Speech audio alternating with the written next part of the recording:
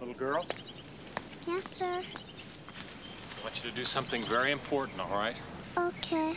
I want you to run home and I want you to call the ER of North Bank General Hospital, 932 1000. Tell them to set up OR6 immediately and contact anesthesiologist Isadora Turek, 472 2112, beep 12.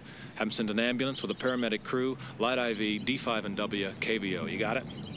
ER North Bank General Hospital, 932 set. OR6 contact.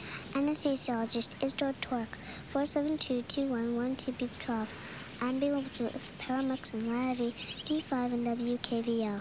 That's good. Sounds like a subdural hematoma to me. Oh, it does, does it? Well, it's not your job to diagnose. But I thought... You thought, you thought, just go!